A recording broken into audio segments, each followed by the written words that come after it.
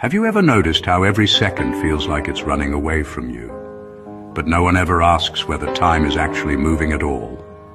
Because here's the strange, uncomfortable twist. According to physics, time doesn't flow. You do.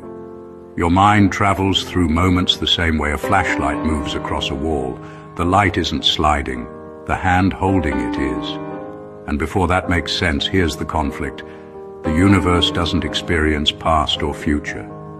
It only holds every moment at once like a cosmic library where all chapters already exist, but consciousness reads them in order. Einstein called this the block universe, where your entire life is already laid out in space-time, not as fate, but as structure. So the real story isn't that time passes. It's that awareness crawls from page to page, believing the book is being written as it reads it. That means nostalgia isn't you missing the past. It's your mind remembering a page it already visited. The future isn't something waiting to happen. It's a chapter your consciousness hasn't reached. And here's the climax. If time is a dimension, not a river, then your choices aren't you fighting destiny. They're you choosing which version of yourself you step into.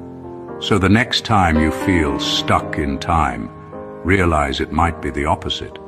Time is perfectly still, and you're the one racing across the universe to meet yourself.